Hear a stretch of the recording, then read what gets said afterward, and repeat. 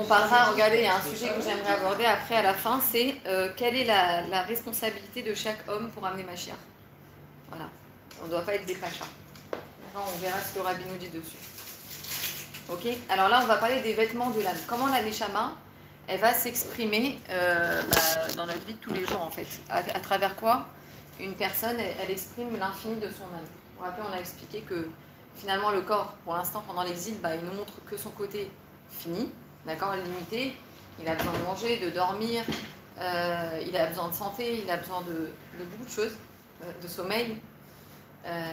et la Neshama, par contre, elle, elle est infinie, c'est elle qui vitalise le corps. Vous vous rappelez?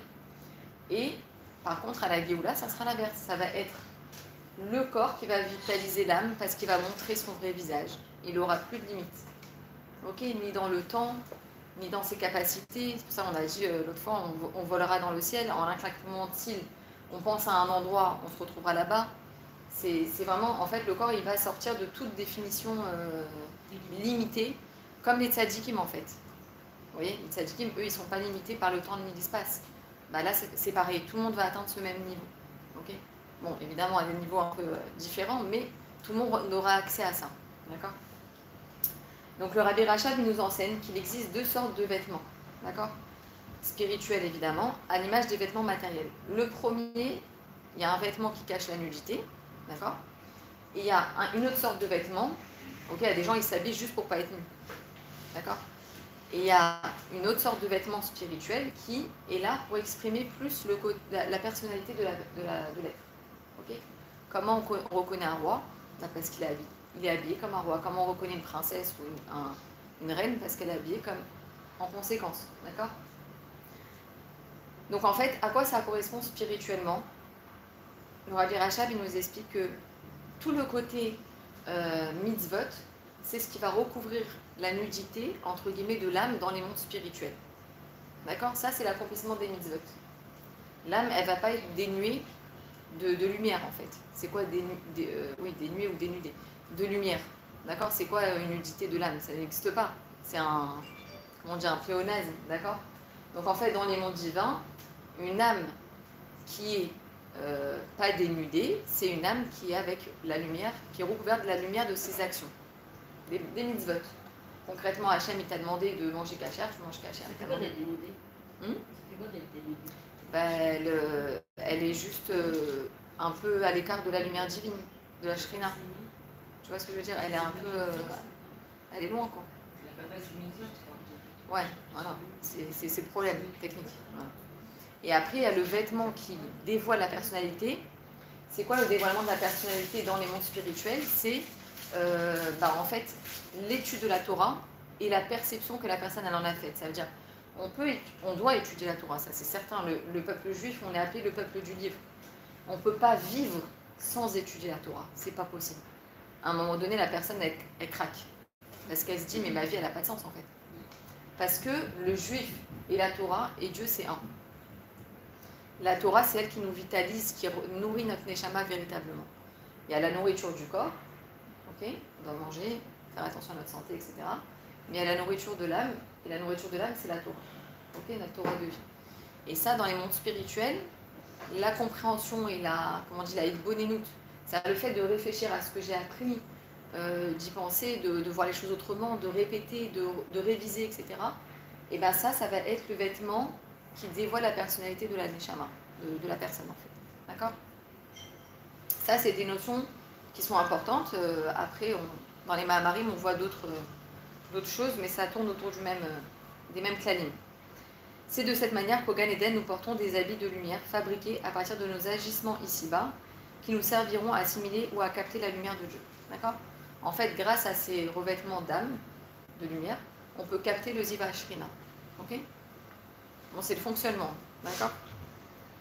Euh, Un exemple qui est assez beau, moi je trouve hyper touchant c'est que, euh, vous rappelez, Rana, elle n'avait pas d'enfant.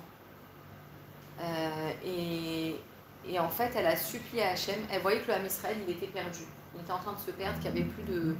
que la spiritualité commençait à, à, se dégrader. Et elle a dit à Dieu, je t'en prie, donne-moi un enfant, même pas pour moi. Vous vous rappelez, c'est le prophète qui est venu la voir et il lui a dit, tu es saoul, qu'est-ce que tu fais? Et en fait, non, on voit que Et elle lui a dit, je prie Dieu. Et on voit qu'en fait, la Hamida, elle a été, on l'a apprise de Hana. C'est elle qui a instauré la Hamida. Elle était en train de prier, les pieds joints, elle balbutiait des mots, elle murmurait des mots à Dieu en suppliant dans le sanctuaire euh, à Dieu de lui donner un fils. Et elle lui a dit, ne l'envoie même pas pour moi, envoie-le pour toi. Il sera consacré pour le service divin. Je te le donnerai. Et ma vache, c'est ce que Dieu, Dieu a entendu cette, cette fille-là. Et euh, à trois ans, elle a donné son fils au Kohen Gadol pour qu'il serve Dieu dans le Beth Bon, après, j'imagine qu'ils avaient euh, toujours un contact, hein, évidemment. Mais, en fait, euh, elle, a demandé cet enfant, pas pour elle-même, en fait, alors qu'elle n'était elle était pas faite pour avoir des enfants. Elle a demandé pour Hachem, pour le peuple juif. Vous vous rendez compte? Quelle force Et Dieu, il a envoyé cet enfant qui s'appelle Shmuel euh, et qui va servir au temple. D'accord? Et il y a comme une image comme ça. Enfin, c'est même pas une image. Il servait au temple de Shiloh. D'accord? C'était avant on est Beth c'était le sanctuaire, le Mishkan. Shiloh? À Shiloh, ouais. Ah, c'est Ouais. Et en fait, on voit que la mère de Shmuel, elle lui avait, euh, elle lui avait euh, fabriqué un manteau. Et bon, la spiritualité à l'époque a été beaucoup plus puissante qu'aujourd'hui, hein, évidemment, et on la voyait de nos yeux. Enfin, là, on est aveugle, hein, concrètement. Et en fait, je ne sais pas si vous avez déjà entendu ça, le manteau de l'enfant, il grandissait avec lui il grandissait avec lui. Et euh, ça, c'est extraordinaire. Pourquoi? Bon, Une des explications que Marie donne, c'est que euh, elle avait mis tellement tout son amour dedans que ça enveloppait, c'était comme un manteau de lumière finalement, qui réchauffait l'enfant quand il y avait besoin, mais qui l'enveloppait de cette lumière bah, d'amour en fait de, sa mère. Le, manteau que nous revêtons ici-bas est celui que nous revêtons en haut. D'accord? Ça, c'est l'écouter Torah du Harizal. La finalité de l'étude de la Chassidoute doit être de magnifier les moindres détails de notre vie. L'étude de la Torah ne doit pas rester en perception superficielle, en, conquête intellectuelle. Il faut en venir à la vivre, à la ressentir. D'accord? Donc ça, c'est hyper important. C'est que le Tania, il en parle beaucoup.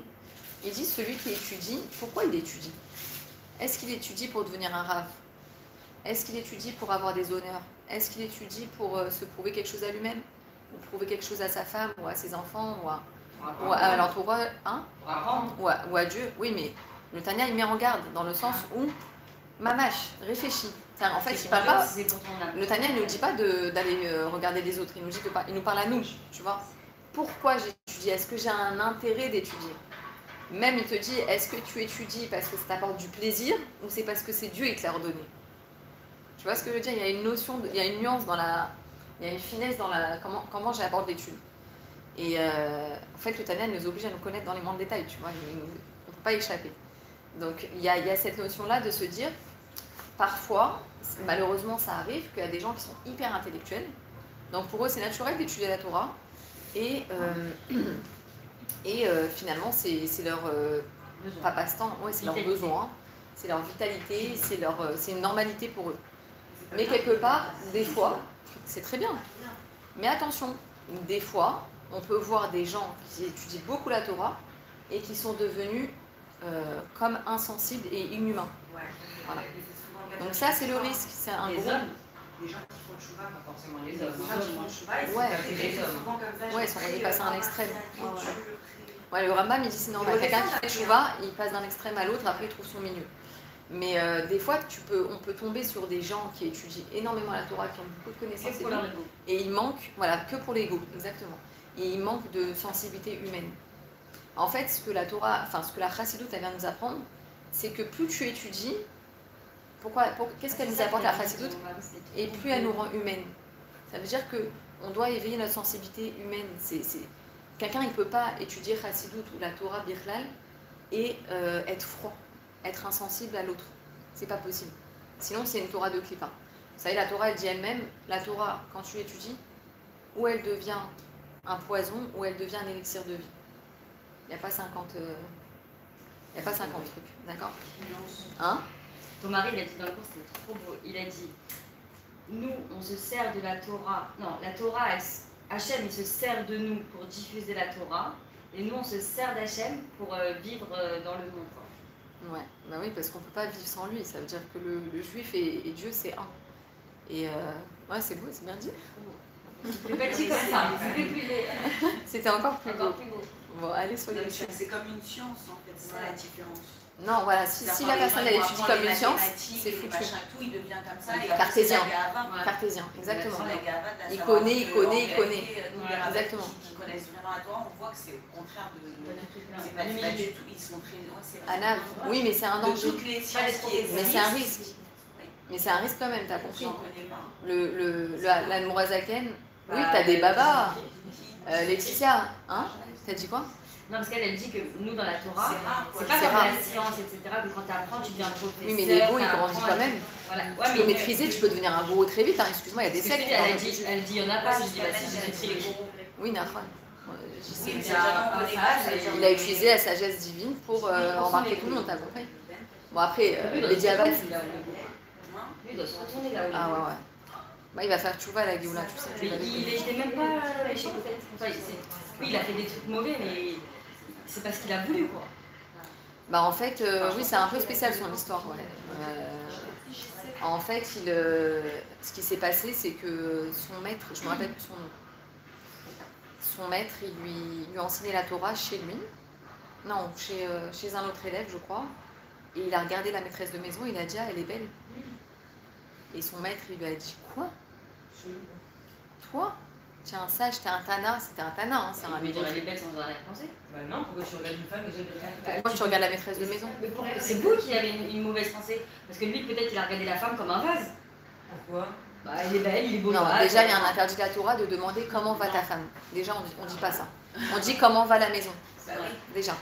De deux, on regarde pas la femme de l'autre. Bah oui. Non, mais peut-être qu'il C'est a un que- Non, non, il a- C'est un. Non, Esther, Esther, Il est bien sage que ça. on parle d'un Tana. On parle d'un- sage d'Israël qui a un haut niveau spirituel. peut-être qu'il n'a pas eu d'arrière-pensée. Si son maître lui a fait le reproche, c'est que ça venait pas du bon endroit. Sinon, il n'aurait pas Bah, fait de C'était pas reproche. un haut, c'est pas possible. Hein C'était pas un haut, alors c'est pas possible. Si, c'était un Tana. Il avait le niveau du Tana. Et euh, son maître Ouais. Non, je sais pas. Je demanderai un moment. Et le nom de- du Tana Oui, j'y sais. On parle de- on Jésus. Oui, c'est un grand maître. c'est- Jésus. Jésus qui Non, alors Et qu'est-ce qu'il a fait Après, on a les Je connais pas, je connais pas. Ouais, et en fait, euh, ce qui s'est passé, c'est que son maître, donc il a rejeté, il lui a dit, tant que tu fais pas de chouva, ouais, tant que tu fais pas de chouva sur ce que tu viens de faire, tu reviens pas me voir. Et en fait, euh, il est revenu une fois, deux fois, trois fois pour demander pardon, pour faire chouva, il a fait chouva et tout. Et un, et un jour, je crois que la troisième, quatrième fois, je me rappelle plus exactement, il est revenu et son maître, il était en train de faire Shema Israël. Et quand on fait Shema Israël, on n'a pas le droit, même pas de regarder quelqu'un. On doit être, euh, même pas de faire un signe, on peut pas faire un, rien du tout. Et euh, il a fait un signe comme ça. Euh, genre, où, où attend, où il n'a pas fait de signe birlal. Et lui, il a, il a senti qu'il était rejeté à nouveau. Donc c'est encore son ego, malheureusement. Et donc c'est là qu'il s'est rebellé contre Dieu. On te dit aussi, tu demandes trois fois pardon. c'est Non, il demandait pas pardon à son maître, vraiment. C'était pour lui montrer qu'il avait fait chouva. et qu'on l'a rejeté. Oui, oui, oui. Non, il n'a pas rejeté. La, la- la dernière fois qu'il est venu, il lui a dit Attends, je suis en train de faire schéma. Il ne pouvait pas lui parler. Euh, Parce que peut-être le maître, il a senti que c'était pas encore euh, ça. Il avait Tu sais, c'est des tzadikim, hein, c'est un un- niveau supérieur, donc il sent. Excuse-moi, un. C'est un- futur, le mec. Il a pas de goût de faire une fois tu vois, deux fois tu vois, même il fait 20 fois tu vois, c'est. C'était quoi Tu me dis, lui, à ce moment-là, Il était un grand sage. Ok, ouais, mais aussi, c'était pas n'importe qui. Peut-être que vraiment, il était sincère. Quand il a fait pardon. Peut-être que s'il avait dit pardon, bah, il n'y aurait pas eu tout ça derrière. C'est Ah, vrai, ça- ça. De toute façon, il n'y a pas eu ça derrière, parce qu'il y a eu ça derrière quand il est mort. Non, il est mort, lui, il a Non, pas non. Non, non. Attends, attends la fin de l'histoire. Il a marché sur l'eau, il a dit qu'il était Machiach, il a fait Il a embarqué, il a embarqué le De là à mettre une génération en vie, non, il voulait pas ça, je pense pas. Ah. Je connais, voulait pas ça. Non, en tout cas, il va faire chouva à la Géoula, ça c'est sûr, et il va mais revenir comme un il a juif. aussi de se faire des tatouages et de. Non, alors, ce qui s'est passé, ouais, Non, ce qu'il a fait, ouais. Il a cousu le cul, je crois. Non, il Ouais. l'a rentré dedans. Oui, Déjà, il l'a rentré. Oui, il y a différentes versions. En gros, en gros, quand il a été rejeté, quand il a cru qu'il avait été rejeté encore une fois, il a dit c'est terminé, je vais me rebeller. Et, euh, et là, il a commencé à faire n'importe quoi dans le sens où il, a, il, a- il est rentré dans le, dans, le, dans le sanctuaire et il a volé. En fait, quand on rentre dans le sanctuaire, euh, il y avait une, une, une colle, une voix qui disait le nom divin. D'accord? Et quand on ressortait, la porte, elle nous faisait oublier, c'était comme électrocuté en fait, elle faisait oublier le, le nom divin pour pas, euh, pour pas utiliser le nom divin pour rien. Et en fait, lui, quand il est rentré, il a, où il a mis un papier, il a ouvert sa peau, il a mis dedans, il a gravé, il a écrit le nom divin pour pas l'oublier, euh, où il a écrit, il y a différentes versions. Mais en gros, quand il est ressorti, ça a fait l'effet d'oublier le nom, mais quand il a pris le papier, bah, il, s'est- il a utilisé en fait pour faire tous ces miracles. Est-ce qu'il y a quelqu'un d'autre que lui dans l'histoire qui avait ce nom Qui a, qui a utilisé le nom de Dieu? Ouais. Non, sérieux. Euh, Non, c'est lui, il a fait les plus gros dégâts, on va dire. Après, j'ai envie de vous dire, Bédiavad après coup, c'est Dieu qui a voulu, d'accord? Oui, bien sûr. Ok, Bah donc oui. parce que ça a préparé le monde au monothéisme, euh, oui, au monothéisme, Ouais. à avoir un seul Dieu. Ça a préparé quelque part le monde à euh, arrêter l'idolâtrie. Mm. Bon, ils idolâtrent quand même un être humain, mais ça, leur, euh, ça les a habitués à avoir un seul Dieu, d'accord Mais avant ça, ils avaient un seul Dieu avec nous, ça veut dire qu'on aurait pu faire le travail. Jésus. avait- Oui, je suis d'accord, mais, euh, mais c'est Dieu qui a voulu tout ça après coup, tu vois. Oui, mais il y avait, il y avait Non, Israël, on avait un, nous un Dieu, on aurait pu diffuser comme il a diffusé, par exemple. Pas du tout, ils Au étaient lieu de mettre la force à Jésus, il aurait pu la mettre la force à. Non, ça a fait beaucoup de dégâts parce que si tu vois le, le chré- les chrétiens, enfin, ils ont massacré le peuple juif, ça a fait Bah des, oui. des croisés, ça a fait des Ils catastrophes. ils de force. En Espagne, l'Inquisition, enfin une catastrophe. Mais bon, vivement la Géoula. Alors voilà, donc en fait, on nous dit quoi? Que l'important et l'essentiel de l'étude de la Torah, c'est de devenir être humain. Ça veut dire, euh, en fait, un juif, il doit jamais rien faire sans réfléchir. S'il est en mode automatique, c'est que c'est pas un juif, dans, le sens où il ne fonctionne pas avec sa neshama. Il fonctionne juste en mode robot. Et Dieu, il veut pas ça. Toute l'étude qu'on fait, toute l'étude de la chassidoute, c'est pour revenir à cette sensibilité d'âme. Je peux pas, euh, je vais vous dire un exemple bête. J'ai bu un café au lait, je peux pas aller dans l'évier et me tromper d'évier, c'est pas possible, je dois réfléchir. Je peux pas, euh, euh, je sais pas, quelqu'un il me dit de, sortir, d'emmener les enfants dans un endroit, je peux pas le faire sans réfléchir. Est-ce que c'est un endroit de Torah? Est-ce que c'est un endroit où il va y avoir n'importe quoi? Est-ce que, etc. Vous voyez? Un juif, il doit réfléchir pour tout et tout le temps. Pourquoi? Parce que ça fait partie de lui. C'est le libre arbitre, ça s'appelle. Et c'est la chose la plus précieuse qu'on a dans notre vie. C'est-à-dire Dieu il nous a créé avec cette particularité, euh, pardon, avec cette particularité d'avoir le libre arbitre et de choisir tout le temps. D'accord À chaque instant. arbitre.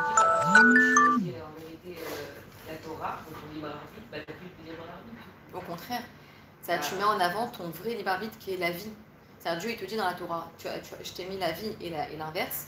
S'il te plaît, il nous supplie en Choisis fait. la vie. Choisis la vie, je t'en supplie. Voilà, C'est pour ça que je t'ai créé. Tu as choisi entre le bien et le mal et que tu choisis le bien. Ouais. Après, quand tu rentres dans ce qui vaut, on va dire que tu n'as plus trop de libre Tu as tout le temps libre arbitre parce que le choix il est constant. Oui, alors après, tu On est avoir- tout le temps, tout le temps en train de choisir, ça veut dire que Dieu il te laisse pas tranquille de. Tu dis bah au Hachem, on va au Hachem, t'as choisi déjà. Voilà. Ça veut dire qu'en fait, dans toute ta journée, dans tes pensées, oui, dans tes pensées, imagine, dans tes pensées, tu as tout le temps le choix de penser euh, à Ah ce qui ouais. va pas ou à ce qui va bien, bah, au Hachem. Merci Hachem, une journée de plus, merci mon Dieu. Ça tout le temps, et de se dire, ah, j'ai encore le crédit, ah, j'ai encore le truc, ah, j'ai- Tu vois ce que je veux dire? On est constamment en train de devoir choisir la vie, la lumière, le bien, le, verre à moitié euh, plein, tu vois? Donc, euh, on peut pas se dire que ou c'est trop facile parce que Dieu nous a demandé de choisir la vie et que ça y est, c'est acquis. Non, c'est jamais acquis. Tu vois bien. Ouais. Sinon, on n'aurait jamais dit Sarah, sinon on se tromperait jamais. Ouais. On serait des anges. Répit. Hein On a quand même le moment de répit. On a des moments de répit euh, quand on dort, j'ai envie de te dire. Moi, J'ai une question justement pour ça. Quand l'âme, elle, elle monte au ciel quand on dort, est-ce que c'est le même temps pour chaque personne Ou On alors va se nourrir. qu'elle reste là-haut Ou alors ceux qui dorment plus ou ceux qui dorment moins, elle reste moins ou plus de temps Euh, ça, je suis incapable de te dire. hein, Je suis Bah, pas dans la rapport mais-. Mais c'est ce qui est sûr, c'est que les gens qui n'arrivent pas à dormir, parce que leur âme, elle ne veut pas monter, genre elle a peur de. Parce qu'en vrai, genre l'âme, elle, elle monte chez la chaîne quand tu Pour étudier la Torah. Quand t'arrives pas à dormir ou quoi, c'est parce que ton âme, elle a peur de monter par rapport au. au Averot.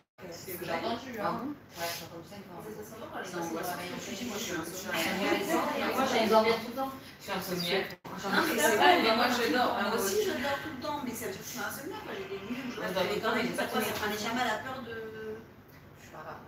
Non, je je saurais pas te donner de, je vais pas te dire des bêtises, mais en gros, euh, pourquoi on dort, ça c'est une certitude, c'est que notre neshama ne peut pas vivre sans, sans la Torah. Et donc si déjà on n'étudie pas dans la journée, au moins qu'elle aille se nourrir la nuit, parce qu'on on peut pas fonctionner sans Dieu en fait. Donc la nuit, on va se nourrir dans les mondes divins, dans les chivotes euh, là-haut. Et maintenant, il y a le sommeil, ça veut dire, il y a le sommeil profond, il y a le sommeil léger, le sommeil léger. Ah ouais, la nuit, Je sais que l'âme, elle est pendant le sommeil léger, je pense pas qu'elle soit en haut, ça veut dire. euh, Et en face, le sommeil léger, n'est pas, pas là tout le temps, c'est juste avant eh ben oui, Avant tout le temps le sommeil léger. Moi, par exemple, je sais que j'ai moins de sommeil profond que de sommeil léger. Ben, euh, je- ouais, grâce à la montre. J'ai genre 30, entre 30 et voire une heure quand je dors bien de sommeil profond. Et tout le reste, c'est des sommeils légers. Ouais, bon, ça, c'est les scientifiques qui te, Oui, là, qui te là, donnent des, des clanimes, tu vois. Mais quand tu dors, ta Neshama, elle va étudier. Ça, tu peux être sûr. Elle Peu va se importe nourrir. quel sommeil. euh, Ouais, ça, c'est des scientifiques qui posent des mots sur les différents. Mais par contre, ce serait me fasses un Pourquoi on dort pas tout le temps? Mes rêves, ah non, c'est mon mari, ça. Pourquoi on dort pas tout le temps Hein Pourquoi on dort pas tout le temps? On dort pas tout le temps? Bah ouais. Parce que Dieu, il vient de dire à Bétartonim, il veut que tu descendes et que tu lui fasses une maison ici. En fait, Dieu, il a dit arrête. Il veut que tu mettes une coupe à tzedaka dans pas ta voiture, il veut que tu mettes une coupe à tzedaka dans le travail. Il veut pas que tu gagnes l'argent, les réfléchis, Pourquoi Dieu, il a créé le monde On- Si vous voulez, on en parle avec plaisir là-dedans. Pas le monde. C'est qu'est-ce qu'il attend de nous Là, pourquoi ça y est, on n'arrive pas les ça, on passe pas. J'arrive pas, j'ai jamais réussi à. Mais va- pourquoi on va ça est, comprendre. C'est toujours des méritants. On est toujours au même stade. Il n'y a pas quelqu'un qui est bien et quelqu'un qui est pas bien. Il n'y a plus des Sarah. Il n'y aura plus de Ritzerara à la Géoula, il n'y a plus de challenge. Pourquoi il y a eu de base? Pourquoi il y a eu ce monde avec des gens qui font Dieu l'a dit Tov Meod pour Ritzerara. Pas forcément. Mais non, même avant Adam pourquoi il a créé le monde par Adam et Chava Il aurait pas fait Oui, ça. Il a ça, créé le monde. Adam. Il Alors, il avait les chamottes et il a dit je vais vous créer. Alors regardez, ouais, si vous voulez, on va, on va l'étudier dans ce livre-là après. On, on lira un petit la pourquoi Dieu il a créé le monde, des- juifs, oui, bien sûr. Non, les Mélachim, ils étaient jaloux des De- des- Neshamot. des, des- qui des juifs, oui, bien sûr, bah oui. Il a dit pourquoi tu leur donnes la Torah, Hein. Non, parce qu'elles ont vu que la Torah c'était divin, que c'était un trésor très, très élevé, etc. Oui, mais il n'y a pas de corps, il n'y a, il y a plus de, il y a plus de tartite en fait, il y a plus de, c'est, pas l'intention divine. Dieu en fait, il a, il, il- il a pas besoin de nous, entre guillemets, il a pas besoin de nous. Mais il a eu un désir d'avoir une résidence ici-bas. Et en fait, la chassidoute, elle te dit, tu peux pas demander sur un désir. Tu peux justifier une volonté, mais tu peux pas justifier une tava, un désir. Tu peux pas demander pourquoi. Quelqu'un, il a envie, je sais pas moi, une femme euh, enceinte, elle a, elle a envie de fraises, euh, mais explique-moi, qu'est-ce que tu as Qu'est-ce qui a fait que d'un coup, tu as besoin d'un truc, un petit fruit rouge euh, qui, est, euh, qui est appétissant? Elle peut pas t'expliquer. C'est, c'est- ça fait partie du plaisir. Vous vous rappelez l'inconscient? D'accord, ça fait partie de l'inconscient. Tu as beau donner toutes les explications possibles et inimaginables concrètement. pourquoi tu as envie d'être riche? Pourquoi tu as envie d'être en bonne santé? Pourquoi? Et c'est ce qu'il va, c'est ce qu'il va y avoir quand il y aura Mashiach Que du plaisir Que Oui, du on va dévoiler. Déjà, le plaisir divin, il va être dévoilé de manière euh, dévoilée, quoi, pas comme aujourd'hui. Et, euh, et nous, oui, on va enfin accéder à notre inconscient. Mais aujourd'hui, le moyen d'accéder à notre inconscient, c'est d'étudier la Chassidut Rabban. Vous vous rappelez? C'est de faire passer par l'étude de la Chassidut Rabban, on est constamment en harmonie quelque part avec l'inconscient. D'accord? C'est d'ailleurs euh, pour ça que le chapeau des, des Chassidim, il est vers l'intérieur. Vous vous rappelez C'est d'intérioriser l'inconscient. Le but, c'est pas de de vivre déconnecté de son inconscient, c'est de vivre en harmonie avec son inconscient. Ok, c'est le plus important. Et surtout quand on sait que la Neshama, le principal de la il n'est pas dans notre corps, c'est un tout petit bout dans notre corps. Le plus important de la Neshama, il est en dehors de notre corps, il est dans le maquis, il est dans l'air, dans l'espace, entre guillemets quoi. Alors regardez, le but de l'étude de la Chassidoute, et Chabad en particulier, c'est de, de devenir sensible. C'est-à-dire vraiment d'être tout le temps en éveil, que un, je suis constamment en choix, constamment. Il n'y a pas un moment où je ne choisis pas. Si je ne suis pas en train de choisir et que je fonctionne comme un robot automatique, c'est que j'ai perdu mon libre arbitre. J'ai perdu ma... ce qui fait de moi un être humain. D'accord? Il y a une histoire comme ça où il y a le, le Baal Shem Tov et le Maguid de Mezrich qui étaient en train d'étudier d'accord, les sujets profonds de la Torah. Ils étudiaient le Zohar. Et le Baal Shem Tov, il a demandé à son élève de lui expliquer euh, des notions qu'ils venaient d'étudier ensemble. Et son élève, il a commencé à lui, parler, à lui expliquer, etc. D'accord? Donc, bon, on parle des Neshamot euh, très très élevés, c'est des Nassiador, c'est des princes de la génération, d'accord? On- Donc, le Moshe Rabbeinu qui était dans leur génération. Donc, c'est des âmes très élevées. Et, euh, et en fait, le Baal Shem Tov, il attendait quelque chose du Maguid de Mezrich. Il lui a dit C'est tout C'est tout ce que tu sais faire C'est tout ce que tu peux me dire? C'est tout ce que tu peux montrer Et le Maguid de Mezrich, il ne comprenait pas ce que son maître voulait de lui. Et à un moment donné, il y a le, le Baal qui commence à lui dire la Torah qu'on étudie, elle ne doit pas rester dans les livres. Et en fait, il a commencé à lire le Zohar à nouveau. Et d'un coup, il y a des anges qui ont rempli la pièce. Il y a les sages de, desquels il parlait qui ont rempli la pièce. Et le, bon, le Maguet de Mezrich, il était euh, surpris, quoi. Mais en fait, c'était bon, des Neshamot très élevés. Hein. Mais en gros, il lui a dit la Torah, tu peux pas, la, tu peux pas en, parler. Tu peux pas, tu dois la ressentir, la, la, vivre dans les moindres fibres de ton être. Ça doit pas être quelque chose de théorique. tu dois la ressentir. D'accord? Le Rabbi Lubavitch nous rapporte un enseignement qui nous dévoile le plan de notre Avodat Hashem, le service du divin dans ce monde-là. Il nous explique qu'il faut que, tout, que nous, juifs, vivions au-delà du temps. Comment est-ce possible dans ce monde de Tikkun où nous savons que le temps nous guette? Comment on peut faire ça? Être au-delà du temps, simplement, et ceci est applicable à chaque individu. En réalité, l'intensité que nous mettons dans chaque moment de notre vie transcende le temps. On va expliquer. S'investir pleinement dans ce que nous faisons à chaque instant. Voici d'où est tiré cet enseignement. Le Sefer Yetzira, dans le commentaire du Rava, nous rapporte les conditions dans lesquelles la Torah nous a été offerte et nous indique par la même de, quelle manière nous devons mener notre vie. La montagne, du, la montagne du Sinaï était remplie de fumée lors du don de la Torah. Le mot fumée en hébreu se dit Hachan. D'accord C'est la fumée. En prenant les trois lettres, ok Hachan. Olam, Shana, Nefesh. C'est les acrostiches de ces trois notions. D'accord On va comprendre. Olam, c'est le monde, ça veut dire le lieu où tu te trouves. Shana, c'est le temps où tu te trouves. Et Nefesh, c'est l'âme. En fait, Akadosh Baruch au Arsinaï, il nous a donné le secret du temps.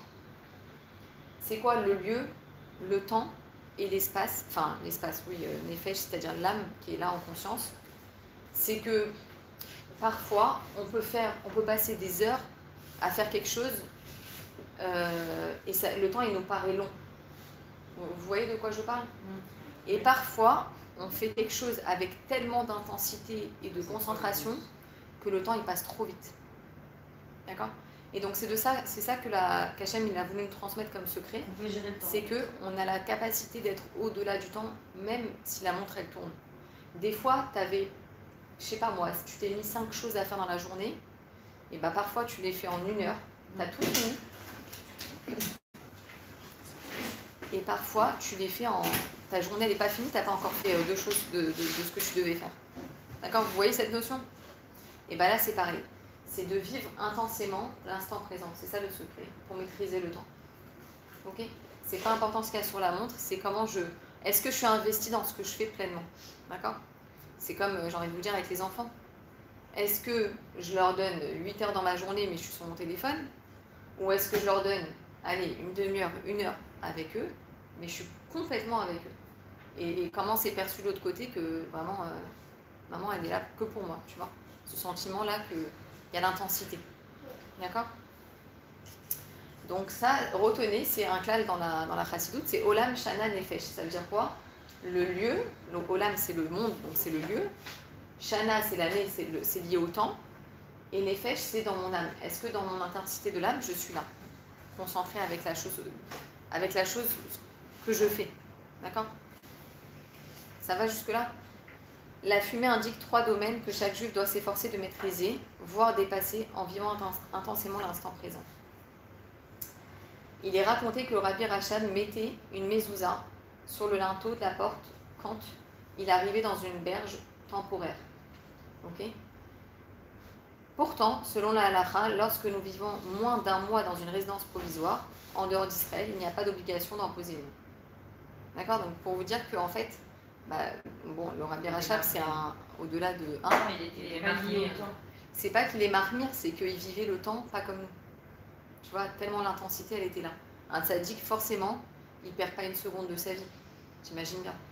Donc en fait, euh, la notion qu'on a, nous, de 30 jours, on se réfère au calendrier, euh, au calendrier un sadique, lui, il vit tellement fort l'instant présent que pour lui, une journée, c'est peut-être 30 jours. D'accord? Pareil pour Dieu, vous savez, on dit un an pour nous, c'est. Enfin, voilà. Est-ce que ça va jusque-là? Dis-moi juste, comme ça on passe. Quelle heure il est, les filles? Comme ça on passe à ma chère Véléoula 1 10h12, d'accord, ok. Alors on commence un peu cette notion et après on va étudier un peu euh, ma chère Véléoula. le temps des tzadikim. Les tzadikim ne perçoivent pas le temps de la même manière que la plupart des hommes. Ok Vous vous rappelez, on a parlé euh, tzadik, Benoni, Racha. On a parlé au tout début. Donc en fait, y a, chacun il a une perception différente du temps. C'est normal, ils sont même pas dans le même monde. Ils sont dans ce monde-là, ils ont un corps. La preuve, c'est qu'ils ont souffert comme nous. Surtout les rébellions de la lignée Rabat, ils ont décidé de souffrir comme nous. Dans leur corps, ou dans leur, euh, à travers la maladie, à travers la prison. Ils ont décidé de vivre les souffrances dans un corps comme un juif normal. Les, les six. Les rébellions, les sept, ouais, les Bah, neuf. ra- le rabbi. euh, Magui de Mezrich, il avait des béquilles bichlal, très Le dernier rabbi. Euh, rabbi Hamashia. Ben- il a pas souffert. euh, Il n'a pas souffert autant que les autres rébellions, mais euh, ouais, à la fin, euh, enfin Il à a la fin, il avait, euh, il a eu trois attaques cardiaques quand même. hein. Ouais. Donc en fait, il a, il a souffert dans son corps. À un moment donné, il était paralysé. Enfin voilà, il a décidé de vivre comme un juif pachouk. vieilli, Ouais, toi tu vois ça, mais en fait non, un tzaddik il n'est pas limité. Tu vois ce que je veux dire? Il n'a pas, comment dire? Pourtant, ils sont tous limités puisqu'ils sont tous plus là maintenant aujourd'hui. Tu crois qu'ils sont plus là? Oui, Toi c'est ce que tu crois. Physiquement. Ils euh, sont là physiquement. Ouais, Dis-toi que ouais. Non, non, non. je- si vous voulez, on fera le Mahamar euh, qui explique. Vous vous rappelez, je vous ai parlé de l'impureté spirituelle qui impacte, un- une- qui donne une impureté physique et donc qui dégrade le corps. Vous vous rappelez de ça? Non. Bon, alors on le fera sur texte, comme ça, ça, ça sera mieux enregistré. Un tzaddik, lui, il n'a aucune impureté spirituelle, sinon c'est pas un tzaddik. Donc il n'a aucune impureté physique qui découle de ça. Mais pourquoi nous, on voit qu'un tzaddik, il vieillit et qu'il disparaît du monde à un moment donné Parce qu'il est obligé de suivre le plan divin. Parce qu'imagine que nous, Hachem, il nous laisse voir tous les tzadikim de tous les temps là devant nous. Baba Saleh, Rabbi Shimon Bar Yochai, Harizal, euh, le, tous, tous les tzadikim. Est-ce que tu as le choix de servir Dieu ou pas? Ah non, je- Bah voilà, tu plus le choix. Tu dis, bah, il est où mon libre arbitre là-dedans? J'ai plus de libre arbitre. Voilà, tu montres qu'en fait le temps il n'existe pas, que, que la mort n'existe pas. Mais j'ai pas, pas le choix que de te servir, Hachem. Donc Hachem, pour respecter, quelque part, les tzadikim, pour respecter le plan divin, que c'est notre challenge en fait de la vie de tous les jours, c'est notre euh, combat, j'ai envie de te dire, pour servir Dieu, de choisir constamment le bien, de faire les mitzvot, de, de bien réagir, etc. Eh bien, il nous, il nous, fait, il nous cache les tzadikim. Ok Il y a plein de- d'exemples dans la, dans la Gemara, on, on raconte, on en parlait Shabbat d'ailleurs, c'est que, euh, je crois que c'est le Harizal, hein, si je ne me trompe pas, son élève il lui a dit, donc il est parti de ce monde, Mistalek, quoi, Hachem il a décidé que c'était le moment, et en fait son élève lui a dit, Rabbi, tu nous as promis que tu allais te tremper tout seul, avant qu'on te qu'on t'emmène euh, te reposer quoi. Et en fait, euh, ouais, ouais. Et en fait, les, les tzadikim, ben, ils se trempent, enfin, on les trempe au milieu avant de les, remettre, euh, les mettre dans, leur cachette, j'ai envie de te dire. Et en fait, euh, donc les élèves, ils avaient fait la toilette au, Harizal au moment où il est mistalek, où il est parti. Et le, quand l'élève il a dit ça, le Harizal s'est levé de là où il était allongé. Il a été se tremper dans le milieu trois fois. Il est ressorti, il s'est allongé, il a fermé les yeux. Non, c'est rassurant. Ouais, je te dis ce que je vois la nuit dans les caméras du bureau.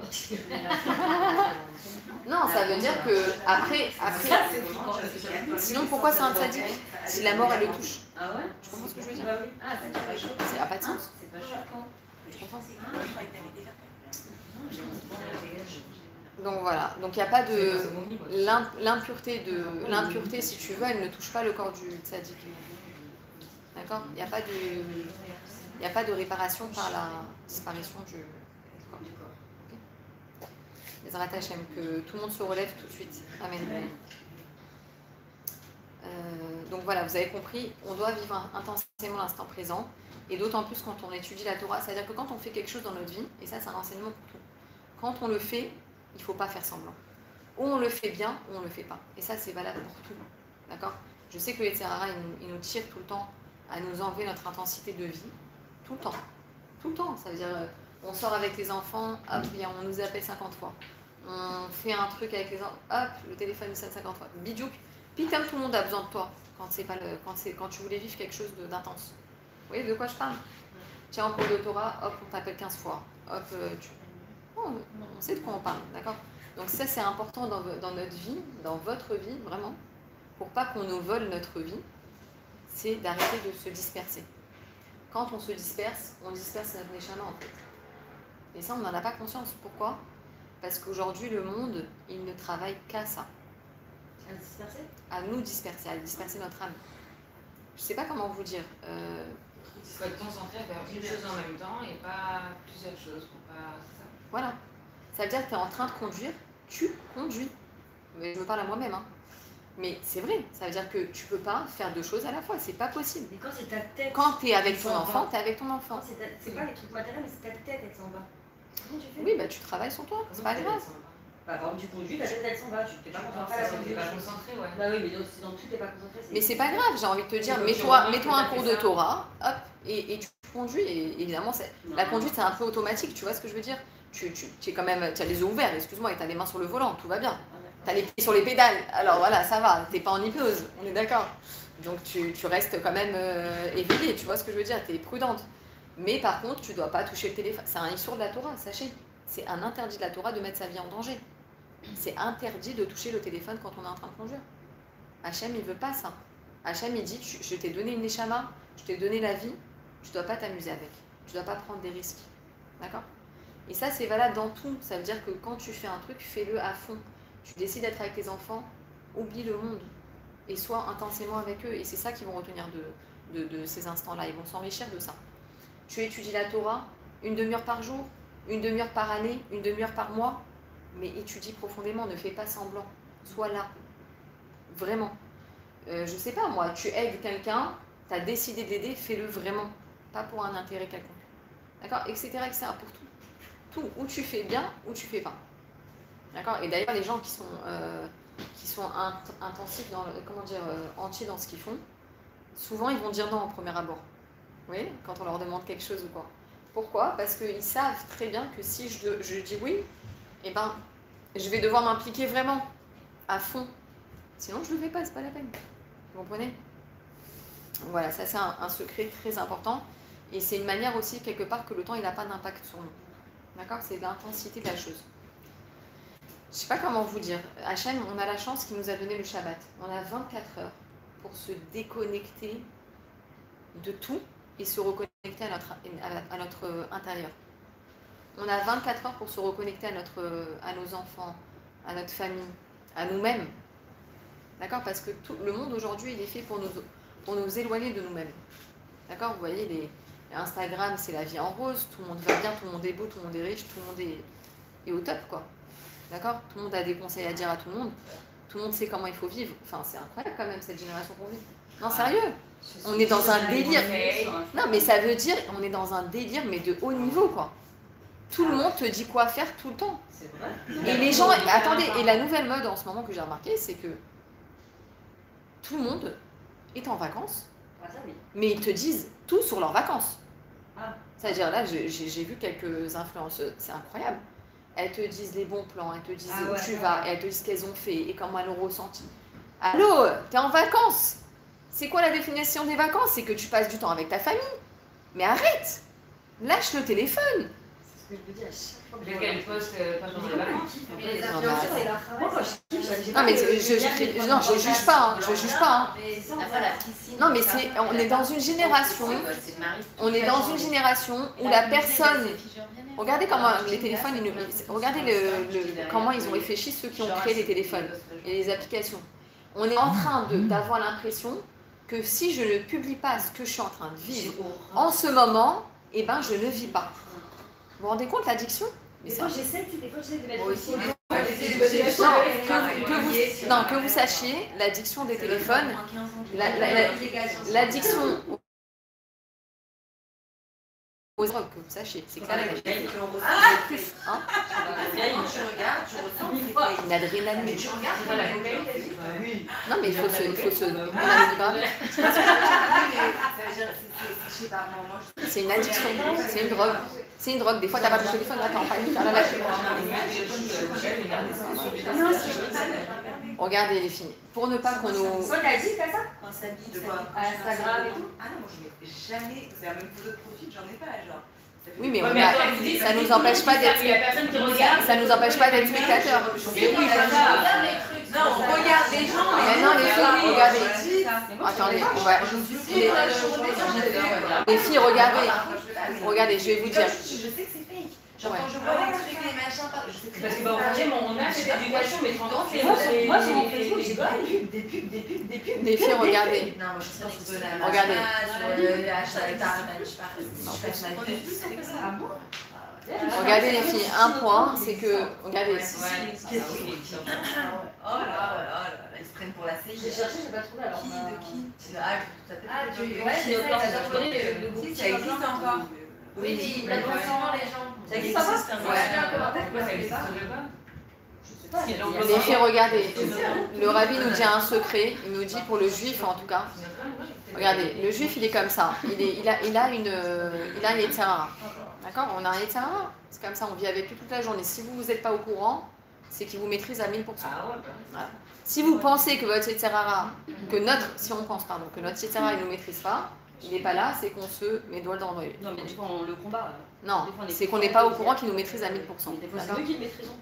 Parfois. Tu sais qu'il y, a un- un- il y a eu un Alors, regardez. sur Netflix, sur tous les réseaux sociaux, etc., par les gens qui ont créé ça. Et ils ont dit une phrase qui est incroyable. Ils ont dit que si tu ne payes pas pour le produit, c'est toi le produit. Et c'est exactement ça dans les réseaux Mhm. sociaux, parce que c'est nous le produit. Tu leur donnes ta vie, Déjà, tu passes tes ils te volent ta vie, ils te te ton temps. pour te vendre des choses. Toi Ah, moi, je suis, colère. Alors regardez les filles. Un, un secret, déjà le rabbi dit, il explique si on n'est pas conscient. Travailler. si on n'est pas conscient, si on n'est pas conscient que notre Yetzirara, il vit avec nous- notre âme animale, si tu veux, qui nous fait chuter dans le monde, elle est avec nous matin, midi, soir, même quand tu dors, même quand tu vas. Elle est tout le temps là. Si on n'a pas conscience de ça et qu'on se dit non, ça va, moi je suis bien, moi je fais ce que HM nous, c'est qu'elle nous maîtrise à 1000% et de loin. Elle a des longueurs d'avance sur nous. déprime, un petit coup de Tout. surtout Surtout. la tristesse, alors bien on va, Voilà, on va en parler après. La race râle, Voilà. tout ça, c'est grave Ça- mais si on vit pas intensément, regarde, si on vit pas l'instant, intensément l'instant présent, c'est qu'on a donné notre âme aux forces du mal. Voilà. Voilà. Excusez-moi, hein. non, les clipotes, oui, elles ont plus de force. Elles ont la force qu'on leur donne, c'est tout. Par contre, tu veux, le- tu veux reprendre ta neshama, tu la reprends tout de suite, tac, c'est fini. Après, je dis pas, le rabbi nous a éduqués à utiliser cette avancée technique pour, pour servir Dieu, diffuser la Torah, diffuser Tarat Mishpacha, diffuser la cacheroute. Le rabbi, ça a été le premier à avoir un ordinateur. L'ordinateur, il faisait une pièce entière. Le rabbi a dit, vous m'apportez un ordinateur. Parce que grâce à ça, on va diffuser la Torah, et grâce à ça, on va amener la Géoula. C'est ce qu'on est en train de faire. D'accord? Mais à partir du moment où, c'est-à-dire, regardez, le rabbi dit quelque chose de clair, où tu influences le monde, ou tu es influencé par lui. Tu peux pas avoir les... être assise entre deux chaises. C'est pas possible. faut arrêter de se leurrer. D'accord? À partir du moment où je suis mes cabellettes, c'est foutu. À part si je suis mes cabellettes de cours de Torah et de choses qui vont construire ma vie. D'accord? Si je suis mes cabellettes de ch'touillottes, de bêtises, de, de, produits, elle me vend du AliExpress, elle me vend... Ça y est, c'est foutu. Là, je suis, je suis plus là, quoi. C'est mon âme animale qui a pris les rênes. C'est fini. D'accord? Donc, en fait, le rabbi nous donne une technique. À la boker, un juif, il doit se lever. Il doit faire. Non, moderni, pardon, netilat yadayim. Il doit aller à la salle de bain, faire tout ce qu'il a à faire, se doucher, s'habiller, se préparer. Et ensuite, on touche toujours pas le téléphone. D'accord? Non, vraiment, je vous donne une technique pour ne pas euh, perdre sa vie, en fait, son temps. D'accord? Parce qu'il est précieux, le temps. Et ces, commerciaux-là, ils se régalent sur notre dos. Vraiment. Sur notre dos, ils se régalent. D'accord? Donc, ne pas toucher au téléphone. Aller faire les Tchatadaim à nouveau, les brachot, euh, Birkot HaShachar. Et une technique, c'est de. Évidemment, l'idéal, je ne vais pas vous cacher déjà, c'est de manger quelque chose. Et en, de toujours pas toucher au téléphone. Je sais que c'est très dur, mais de pas de ne pas toucher au téléphone et ensuite d'étudier quelque chose et après faire ça de fila. Le rabbi dit non, non, non, tu peux faire ça très vite. C'est-à-dire le matin, on se réveille, on regarde là, on voit. Après, c'est 60 secondes. Bah, tu te réveilles plus tôt, qu'est-ce qu'il y a? Tu te réveilles une demi-heure plus tôt Non, tu te réveilles une demi-heure plus tôt.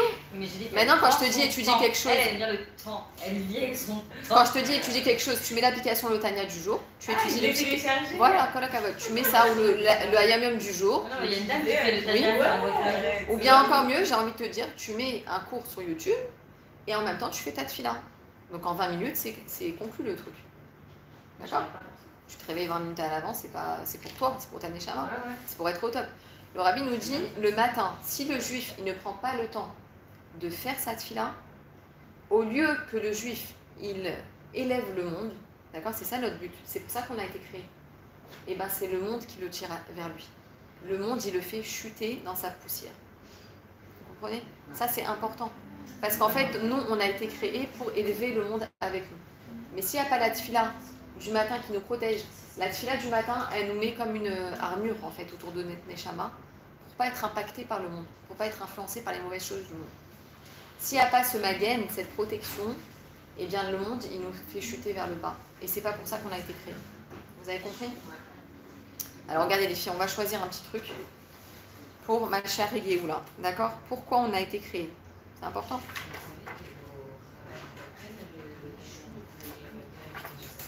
Mon fils, quand il a mis une chine, Ouais. il a lu les premiers chapitres. C'est ça. C'est ça, il faut les tailler.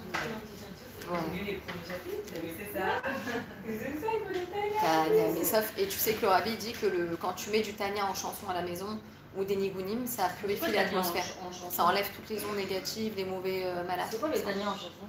Tu mets Tania Béchir dans YouTube. Les Régis, Melbenida, c'est ce qu'ils apprennent les enfants à l'école. Ah ouais, c'est mais ça, c'est tout le premier chapitre italien. Et c'est. T'as même le disque, tu peux l'acheter à Sifra Chabad, il y a tous les chapitres. C'est la C'est la Mourazaken. Mourazaken. Ok, mais il y a quoi dedans c'est quoi euh, a C'est tout ce qu'on est en train d'étudier. C'est c'est la C'est en fait, si tu veux, c'est la psychologie de l'âme juive dans toute sa profondeur pour euh, enfin amener ma chair. C'est-à-dire que c'est c'est pour en terminer avec les forces du mal. Parce que finalement, dans cette euh, psychologie divine, le l'Anmoazaken, il nous apprend à savoir où tu en es avec ton service de Dieu, où tu en es dans ta relation avec Dieu, et à le regarder en face et à l'assumer. Tu sais où tu en es, tu sais ce qu'il te reste à faire et comment tu dois avancer chaque jour. D'accord? Alors voilà, on va faire un petit, un petit état. Pourquoi, pourquoi on a été créé? D'accord? C'est quoi notre but? C'est quoi, quoi la kavana D'accord? Kivush Gashmiut Haolam, dira Betartonim. Pourquoi on doit conquérir la matérialité de ce monde? D'accord? La réponse globale, c'est pour faire une résidence ici-bas. Une résidence pour Dieu ici-bas, dans ce monde matériel. Kivush Chalukat Viyeshuv Haaretz Merumaz al Avodat Bene Israël Yervosh et Haaretz Kenaan. Artzot Shivat Goim. Velasot Mem Eretz Israël. Eretz HaKodesh. Ok, dans la Torah, on voit bien que Dieu, quand il nous a donné Eretz Israël, qu'est-ce qu'il nous a dit? Vous allez euh, euh, conquérir Eretz Kenaan. Et qu'est-ce que vous allez en faire? Vous allez faire de cette terre qui s'appelle Kenaan, Eretz Israël. Vous allez la rendre Kadosh. Vous allez la rendre une terre sainte. D'accord? Les, les, les, Français, quand on dit Eretz HaKodesh, on dit la terre sainte. Ok? Vezot Omeret Eretz Yehudit Gdosha. Ça veut dire quoi la terre sainte? C'est une terre juive et sainte. Eretz Sheba Nikar Begaloui Shayachut Layadut. Ça doit être une terre où on voit le rapport direct avec le juif, avec tout ce qui est juif, avec le judaïsme, profondément. C'est-à-dire les magasins fermés le Shabbat, enfin tout ce qu'on vit ici, qu'on ne vit pas en Koussaretz. Voilà. Et l'Okut Vegdusha, on doit vivre de la divinité, des miracles et de la sainteté. On doit ressentir la sainteté. Vous savez, quand on sort à l'extérieur d'Israël, en Koussaretz, on ne voit pas la même lumière. Peut-être, euh, nous, on ne se rend pas compte parce qu'on n'est pas sorti euh, depuis longtemps. Ah non, mais c'est bon, moi je me suis portée sur Tu ressens ou pas ça? Tu sens que quand tu arrives, ça y est, je suis avec Hachem. Vous voyez ce, ce sentiment-là? Quand je suis sortie, j'ai fait une dépression. T'as senti Ah ouais, ou pas? partie en Grèce, j'ai compté les jours. Ah ouais, mais c'est quand je-. Et tu t'inquiètes, tu te dis quand est-ce que je vais revenir, quand est-ce que... À la maison. Et quand un juif il revient en Israël, même après des années, il dit ça y est, je suis rentré à la maison. Non, mais quand je suis en France, je sens, euh, comme moi, moi, je vais souvent, je sens comme un malaise, comme Un- si. un- euh, des- un- tu t'es même- plus chez toi. Non, mais les murs, même, on dirait que l'environnement Ah, c'est un et qu'il me. Te tout me rejette. Et je me ah, c'était bien la France. Non, j'ai un malaise de, de tout, des murs d'un- d'un- d'une boutique, d'un truc, de la rue, de, c'est pas bon. Tu te c'est- sens pas dans la c'est même lumière, dans le Il y a rien qui est bon. différent pour moi. Non, mais imagine pour moi que je suis Quand souvent, genre c'est horrible, genre, c'est c'est pas bon. Quand je vais en route, je sens que j'ai un lien justement avec Israël. Mais par contre, j'ai envie de plus me dévoiler, entre guillemets. Ça veut dire j'ai envie de faire encore plus que je fais Que quand tu fais ici. Ouais. Parce qu'ici, on est entre Et juifs et on se détend. me- Ouais, c'est des termes, Exactement. Ouais, je comprends. Alors que quand on est en Koussaretz, quelque part, bah, vous voyez, On les Français, bah, au. Hachem, on est hyper religieux par rapport aux Israéliens. Ils sont choqués, genre, ah, tu fais Shabbat cache-route, mais tu m'as dit que t'es pas religieux. Oui, je suis pas religieuse, genre, je suis traditionnaliste, tu vois. Non, mais attends, tu es religieuse, tu vois, genre, c'est incroyable. Parce qu'en fait, ici, on se détend. Le Etc, il se détend, il te dit, allez, c'est bon, t'es entre juifs, on est entre nous, je fais les mitzvot toute la journée, t'es entre. Détends-toi. Tu vois, ça, c'est des terrains des extrêmes. Tu vois ce que je veux dire? Alors qu'en côte s'arrête, tu te sens tellement agressé par le- l'environnement qu'on reste entre nous, qu'on s'assimile pas du tout, qu'on fait pas des tatouages, tu vois, on se distingue. Tu vois ce que je veux te dire? Donc en fait, ici, on a un niveau de travail beaucoup plus prononcé, quelque part, beaucoup plus dans la finesse d'esprit, tu vois ce que je veux dire? Alors qu'en route, c'est facile d'être juif, entre guillemets. Bah ouais. Tu as plus tendance à rester en communauté, à ne pas aller voir dehors parce que c'est, pas notre... T'as compris. Alors qu'en Israël, il y a beaucoup de non-juifs aussi. Tu vois ce que je veux dire Le danger, il est partout aussi. Ouais. Voilà. Et ça, on doit faire attention à ça. Israël, Menatzlim Ve'aliada, et Amitzvot, Altruyot Baretz. Alors regardez, qu'est-ce qui fait que, en fait, cette terre, elle est sainte? Pourquoi? Parce qu'on utilise cette terre pour faire les mitzvot qui lui sont liés. D'accord? On va parler de ça. Et à mitzvot à tout baretz. Voilà, il y a des mitzvot qu'on ne peut pas faire en dehors d'Israël. La orla, la shemitah, euh, prélever les maasrot. Quand on va en route s'arrête, il n'y a pas de maaser, il n'y a pas de troumot, il n'y a rien. Il n'y a rien. Pourquoi ils vont pas le masser, les gens qui disent Non, c'est, c'est, c'est- ça concerne que la terre. Hein? Non, le masser de la terre. De la terre. Non, non, je parle du maaser sur les fruits et les légumes, d'accord. La orla, il n'y a pas de sujet de orla. Non, le maaser de la paye, ça, c'est la bracha pour toujours, d'accord. C'est comme ça que tu dis à Dieu, tu m'as promis, tu as fait la promesse que je serai riche, voilà, je donne le maaser même sans réfléchir et tu es obligé de me donner en échange. D'accord. Dieu, il dit, testez-moi sur ça. Dieu, il dit lui-même. Non, on parle de la- des, des- des fruits et des légumes, d'accord. Il n'y a pas de mitzvah. Euh, par le fait qu'on fait les choses, les, les mitzvot qui sont liées à la terre, alors on la rend kadosh, on la rend sainte. Et par le fait qu'on reconstruit le beit hamikdash. On va comprendre un peu plus dans comment on fait un beit hamikdash. D'accord? Chez Alav, Omer Akadosh Baruchou va souli mikdash v'shachanti betocham.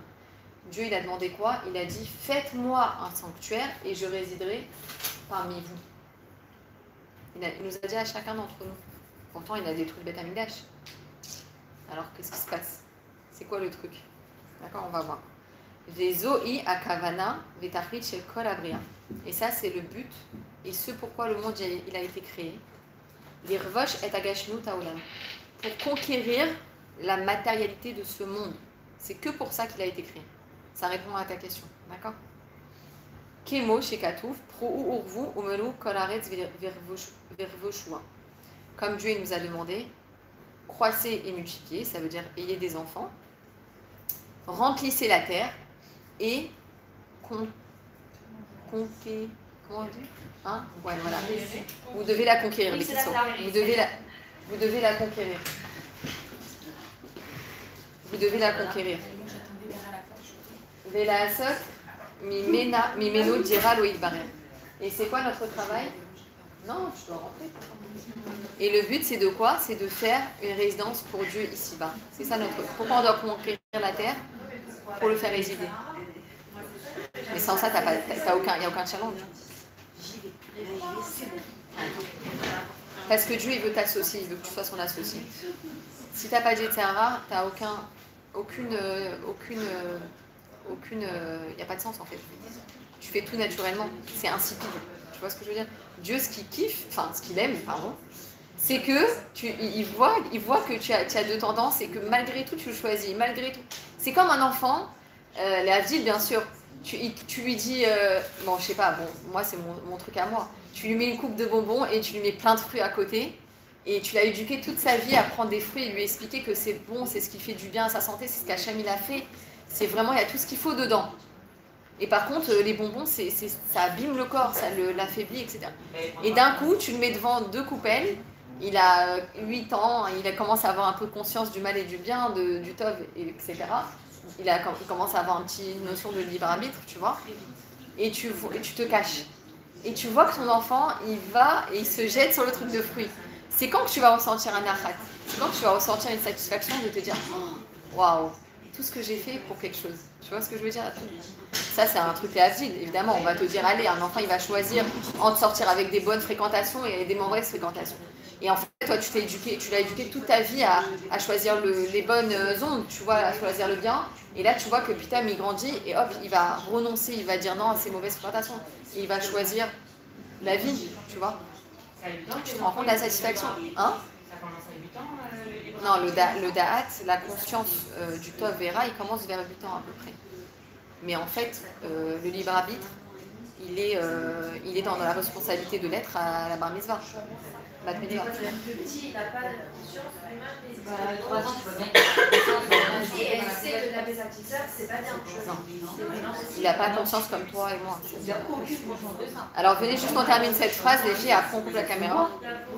Alors le but, le but de la création, ça va les filles. Le but de... Non, c'est un kiff. Non, il comprend pas, il a aucune. Donc il sait que le, donc le but c'est quoi? C'est de faire une résidence pour Dieu ici-bas. Shebo nimsa kadosh baruchu ou kaviachol begiloui ka'adam animsa bejirato pratit. En fait, c'est quoi notre travail? C'est de la même manière qu'un être humain, les filles, c'est on terminera. La, la même manière que le, le- être humain, il vit dans sa maison et il se dévoile dans toute sa splendeur en achon. On dit tu sauras jamais ce qui se passe à la maison quand un couple il te dit euh, je divorce. T'es choqué. Mais concrètement, tu sauras jamais ce qui était dans, sa, ces quatre murs. D'accord? Personne ne saura. Donc en fait, là c'est. Les Abdil, évidemment. Donc en, vrai, c'est pour dire quoi? Qu'un homme, quand est-ce qu'il est vraiment avec son vrai visage? C'est quand tu vas le voir chez lui. C'est là que tu vois qu'il est vraiment. Est-ce qu'il est tout milieu à l'extérieur et dedans c'est un catastrophe? Est-ce que euh, c'est l'inverse? Est-ce que, d'accord Des fois il y a des chefs d'entreprise, c'est des terreurs à l'extérieur, mais en fait c'est des- du miel à l'intérieur, etc., etc. Donc en fait c'est pour dire quoi? La Chassidut, elle nous dit l'essence de la personne, de, l'être, elle se dévoile mamache où? Dans sa maison. C'est là que tu vois si la personne elle est fainéante, si elle est ordonnée, si elle est macpide sur les choses, selon logement, etc. Tu vois vraiment tout. Tu te rends compte de tout. Et bien de la même manière qu'un être humain, il réside dans sa maison à son aise, il se dévoile vraiment, il se sent en confiance, et ben c'est pareil. Dieu, il veut être pareil dans ce monde-là. D'accord? Vous avez compris? Il veut se sentir qu'il est chez lui, dans sa dira, dans sa maison. C'est ça notre travail. Maintenant, il y avait une petite notion. euh, Voilà, le Bet Amidash. Comment on fait un Bet Amidash aujourd'hui, sachant qu'on n'a pas de Bet Amidash? La Torah nous explique notre Bet Amidash, c'est notre maison. D'accord? Imaginez quelqu'un, voilà, même sans, sans avoir à construire sa maison, mais imaginez quelqu'un, il est riche, il va construire sa maison, il va se dire, je dois la construire comme un sanctuaire. Là, je vais mettre le, le juste à côté des toilettes. Là, je vais mettre euh, les lits pas dans la direction du, du Beth. Les pieds doivent pas vers le Beth.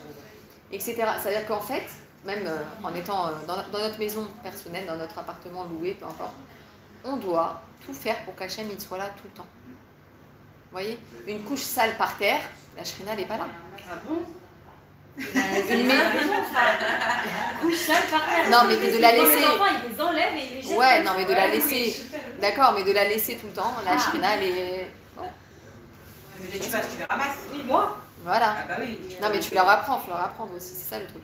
Mais la propreté, ça fait partie du service de Dieu. D'accord C'est pareil dans la cache-route, ça fait partie de la propreté. Enfin, la, la propreté, ça fait partie de la cache-route. Etc. Les Shevanekiim, la Taratan Mishpacha, c'est un sujet de propreté, etc. Vous voyez? Donc la Shrina, elle doit être là en permanence. Est-ce que quand je suis, euh, j'ai la tête découverte devant les Sfarim, est-ce que c'est un kavod à la Shrina? Est-ce que quand je suis dénudée devant une photo d'un tzaddik, est-ce que la Shrina est là? Etc., etc. Donc en fait, notre maison, où on se dévoile, où on se sent à l'aise, est-ce que Hachem il est avec moi? Est-ce que la présence divine elle est là? C'est mon bête amigdash là. Vous voyez ce que je veux dire? Est-ce qu'un enfant il a le droit de rentrer dans Kodesh à Kodashim? Kodesh à Kodashim, c'est la chambre des parents. Non, mais attends, ça c'est pas possible. Vous voyez ce que je veux dire? Kodesh à Kodashim, c'est la chambre des parents. Est-ce qu'un enfant il rentre comme il veut? Est-ce que le Ham Israël il pouvait rentrer dans Kodesh à Kodashim comme il voulait? Non, je suis désolée, il y a des À règles. quel âge En 3 ans maximum. Ça, tu l'habitues. Tu l'habitues. Alors, on va arrêter là, les filles, pour aujourd'hui. Mais Zrat Hachem, que du mérite de l'étude euh, qu'on fait, que ma chère se dévoile immédiatement, que tous les malades y guérissent, qu'il n'y ait plus de malades, qu'il n'y ait que la santé, ma mâche de manière dévoilée, Refoua Shelema, l'école Cholam Israël et de Barbara, Bracha, Sarah, Sabine, et que Bezrat Hachem, que tous ceux qui nous ont quittés, qui se relèvent tout de suite et qu'on puisse aller au troisième Betamigdash faire la fête pour l'éternité. Amen, amen. Voilà.